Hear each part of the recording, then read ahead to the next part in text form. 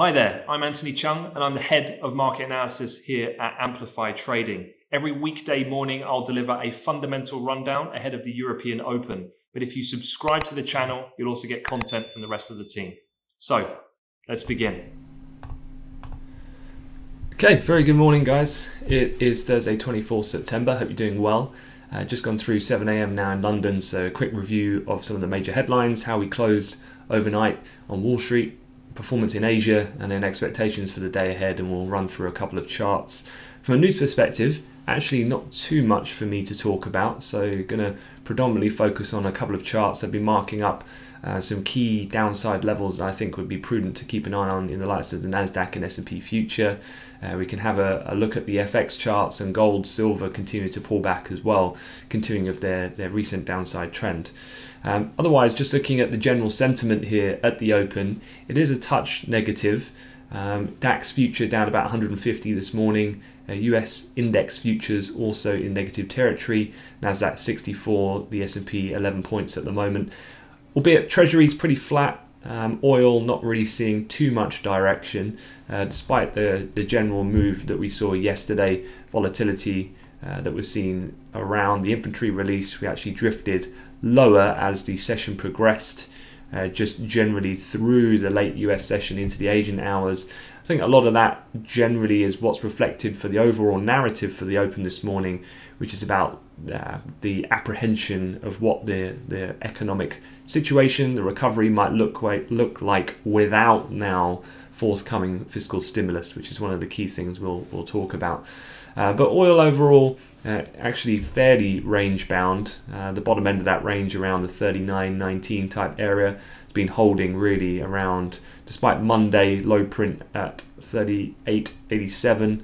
Uh, the market's respected really 39.19 over the last two days. Um, we bounced up towards pivot at the moment.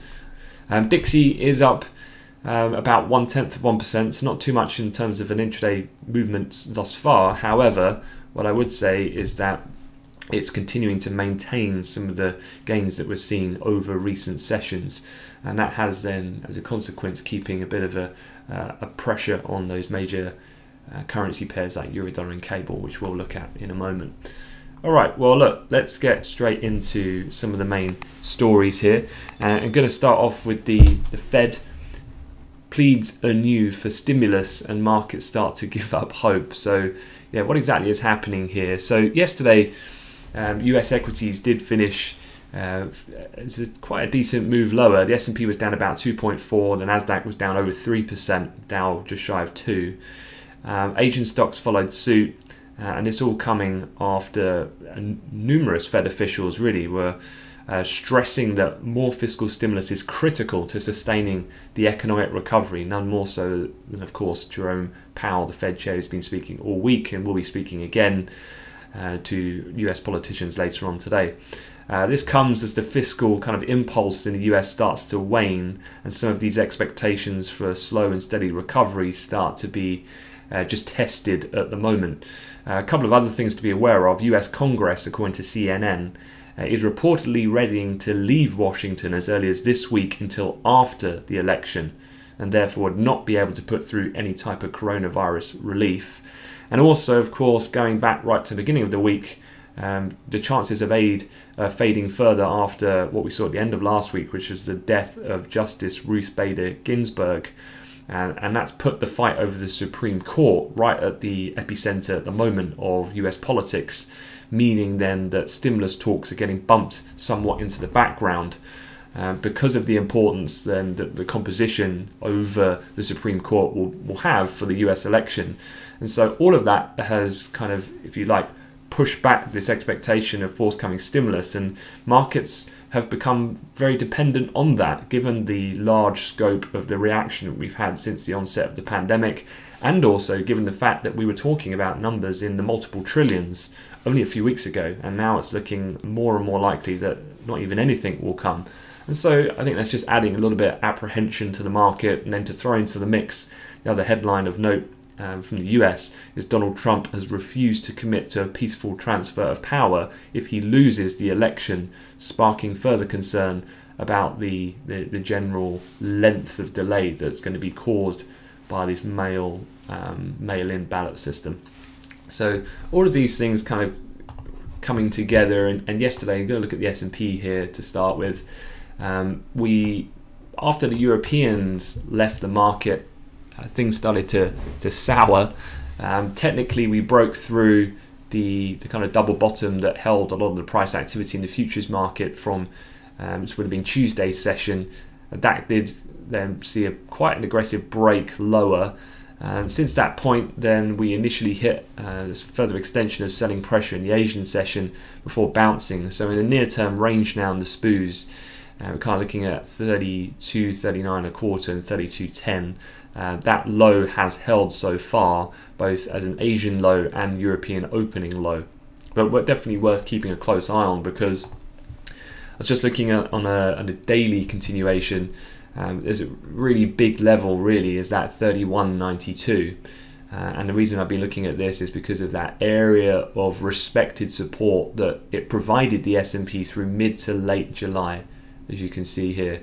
Um, and that was really quite critical to hold the market up uh, at that point in time. So if we see further downside pressure, that will be a really big um, area to keep an eye on because a break of that, then the selling pressure could get heavy quite quickly. Uh, but that could be then a firm area where the market might respond in kind to stabilize um, and whether bounce but perhaps consolidate a little bit after what has been quite a, a run lower here uh, more recently.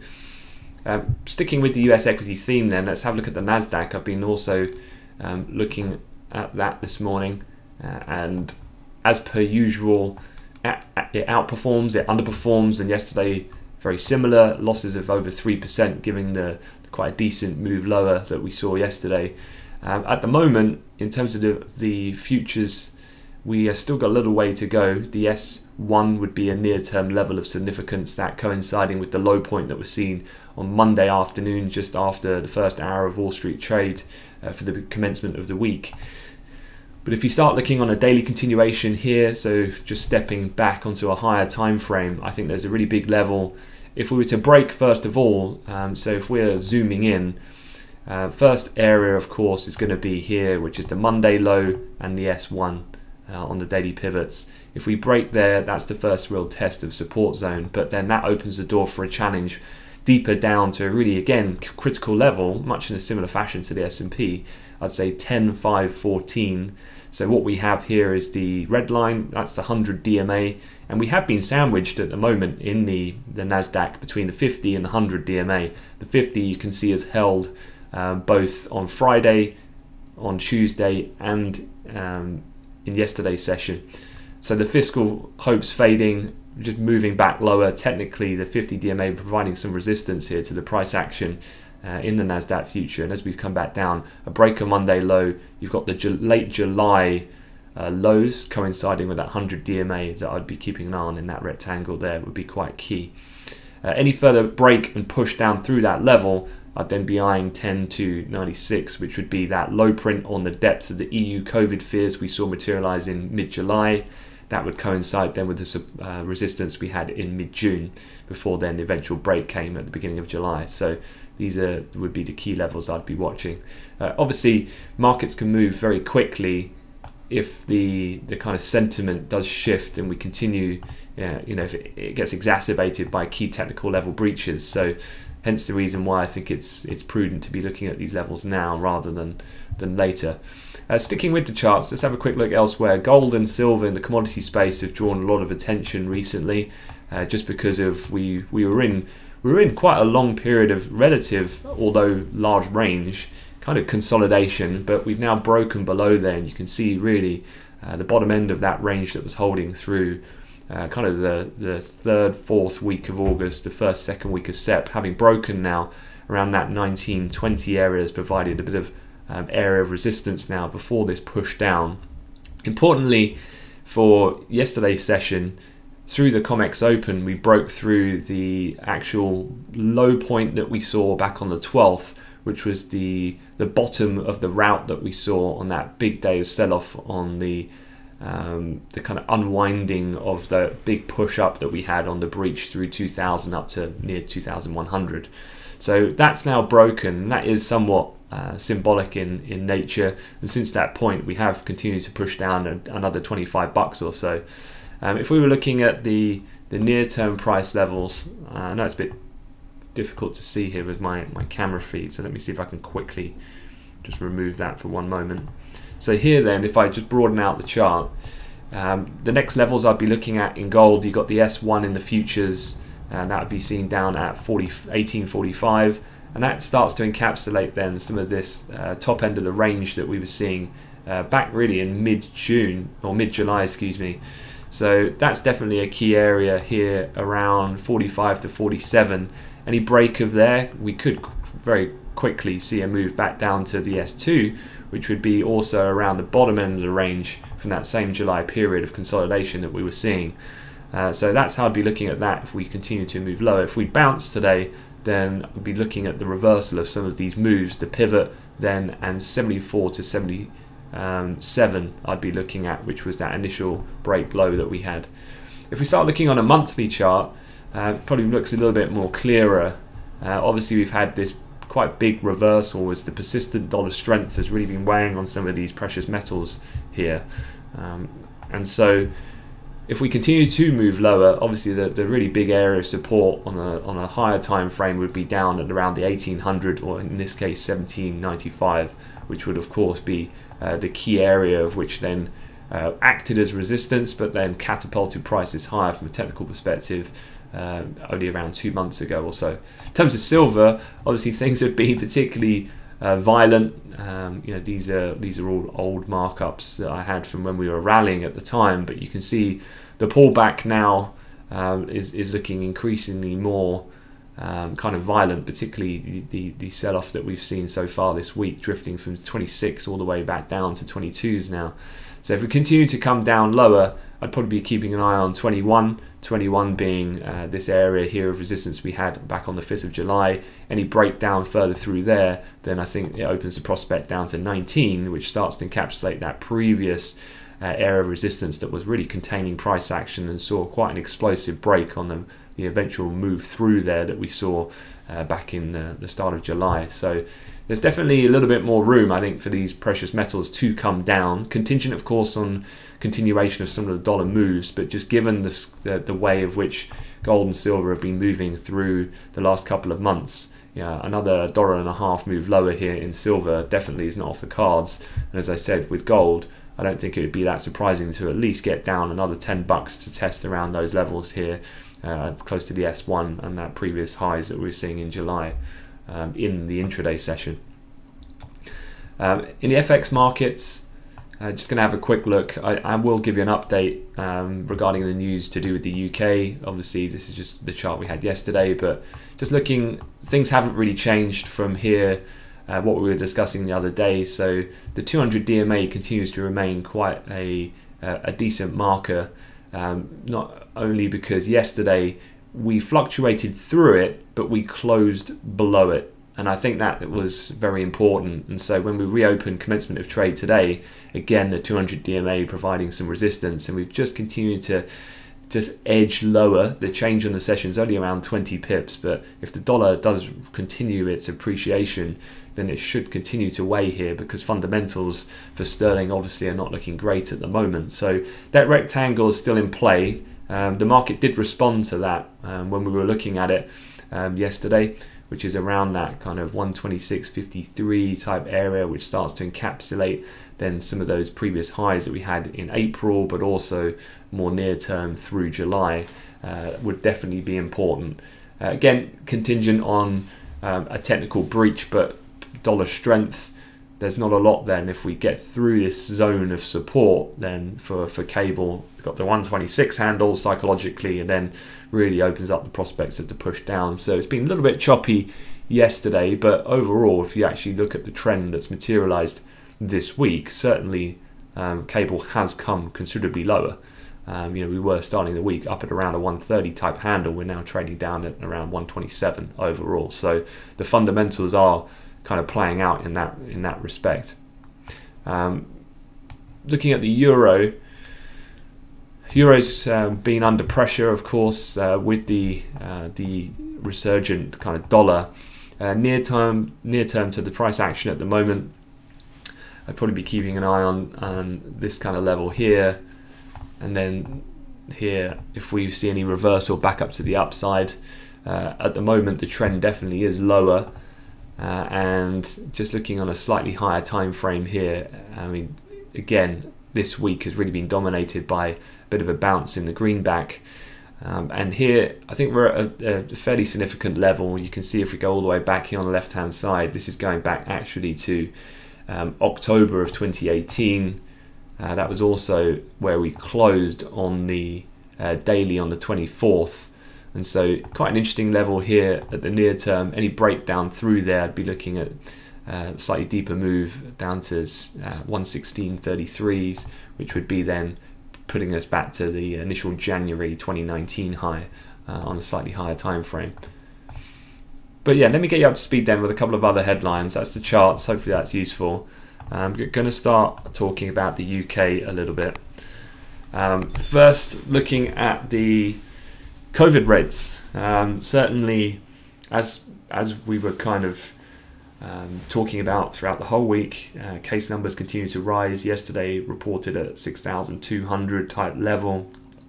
This is one of the this is actually one of the highest levels ever that we've had registered in just one single day, as you can see from the, kind of height of the, the period of the initial lockdown and the worst case numbers we were seeing in April.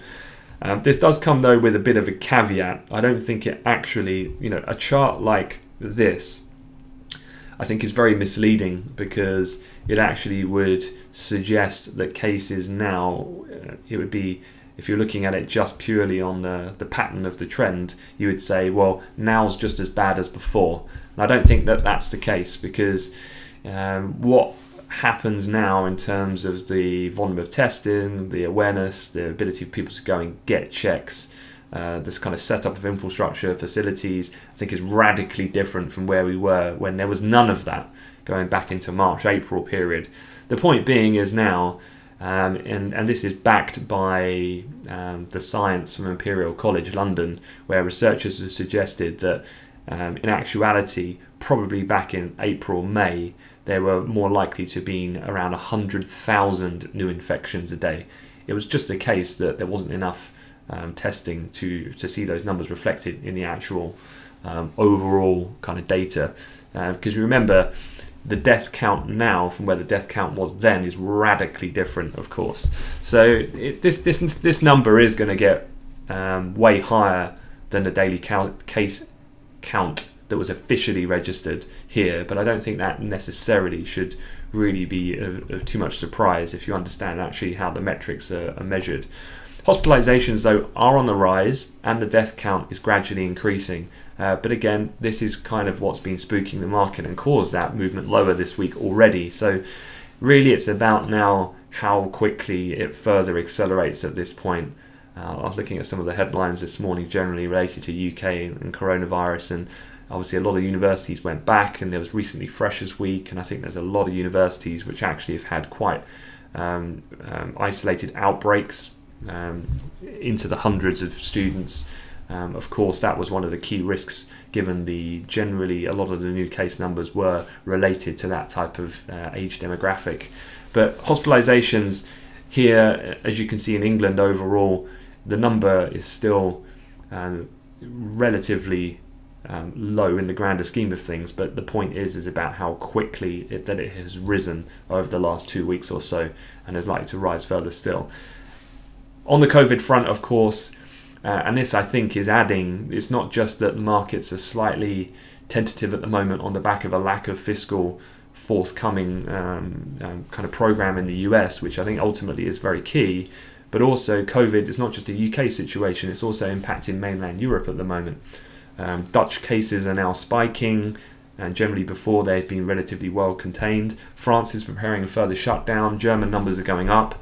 So all of this, of course, is um, a kind of reshaping then uh, the idea that the economic recovery, what it was looking like a few weeks, months ago, is looking a little bit different now because of the fact that naturally, as these virus starts to show and numbers start to increase, and governments need to respond in kind by uh, imparting further restrictions like what we've seen in the UK, and that's going to impede that that uh, recovery story. Um, the Chancellor is going to be speaking today, uh, Rishi Sunak.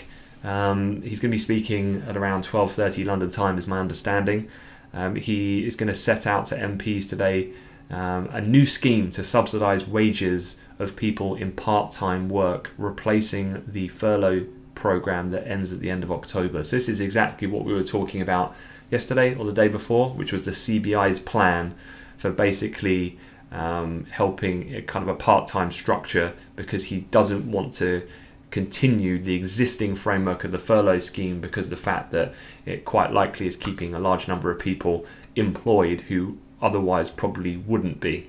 Uh, and so then a more realistic or more effective way of doing this uh, is to use a subsidy of wages for people in part-time work. Um, in addition to that, he's expected to extend the life of four loan schemes, which is already backed just close to 60 billion pounds in lending to companies through government guarantees. And so, as we've said before, he's going to try and uh, continue to remain adding um, credit, if you like, or access to it in, in a favourable fashion to keep companies which are going to be under stressed conditions going forward, particularly with the uh, expectation of these restrictions are likely to get more intense going forward. Um, the budget, of course, has been delayed. He, he confirmed that yesterday, but that was absolutely no surprise. Absolutely no point in, in having a UK budget typically seasonally at this time of year because if you think about what's going on, we've got a highly uncertain future now with the latest developments with COVID. And you overlay that with a uh, self imposed mid October uh, soft deadline for Brexit. You know, the moment he writes a budget right now it's pretty much out of date because the situation is fluid and it's going to be changing a lot over the coming weeks. So therefore, it's just been delayed uh, until later this year, potentially, I guess, into into Q1 of, ne- of next. Um, so when he comes out, um, it's kind of a, a, similar story to the way the government handled then the press kind of leak before the Boris Johnson speech of all the measures that are going to come out. So what Rishi says today should come as no surprise for markets, really, because much of it has been drip fed into the press already. Um, finally, a quick look at the calendar for today. These are the major data releases. You've got German IFO coming up at 9 o'clock this morning. Um, and then you've got a number of speakers. Uh, so basically, German IFO, US jobless, and US new home sales, they're your major data points. But from a speaker perspective, um, this is what the docket looks like. So incredibly busy once again um, and and purposefully so. You know, if if people are a little bit uh, unsure of you know and looking to clarity from the the central banks, particularly the Fed. Um, then it's not uncommon for them to kind of litter the schedule or the docket with lots of speeches, uh, and this generally is a, a tactic of um, of management or of market uh, kind of sentiment in a way. So you've got Kaplan. Powell, of course, is testifying to the Senate Banking Committee today, this time round, having already done the House. Then you've got Bullard, Evans, Barkin, Bostic, Williams. So you're getting the full kind of roadshow. Uh, so definitely, you'll be interested to see what happens there. Um, I would say overall, um, perhaps just given sensitivity in uh, in market prices this week, perhaps it's a little bit more reassuring. They'll continue to do whatever they can do. That type of rhetoric. Um, definitely no need for any kind of hawkish noises at this point uh, if they want to try and manage stability in markets, which is generally quite fragile right now. Um, and then the other one that's going to be really interesting is, is Andrew Bailey. He, of course, spoke back on Tuesday, and it did cause some sh- uh, short term fluctuation in sterling.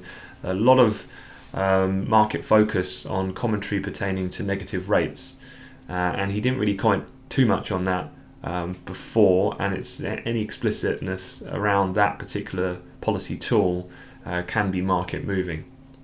So Bailey speaking at 3 p.m. London time uh, in the Northeast England Chamber of Commerce. Uh, so yeah, that is it really. So hopefully that was useful. Um, any questions at all? Again, as as always, just drop me a drop me a comment. Absolutely happy to um, to help. Uh, and also, you can follow me on Twitter thank you very much for everyone for following. Uh, managed to get over 10,000 followers now, so uh, yeah, amazing. I'm just happy that people uh, like my macro ramblings uh, and find value from it. So uh, hopefully it's uh, it's all useful. All right, guys. enjoy your day, and I'll, and I'll catch you later on. Thanks very much.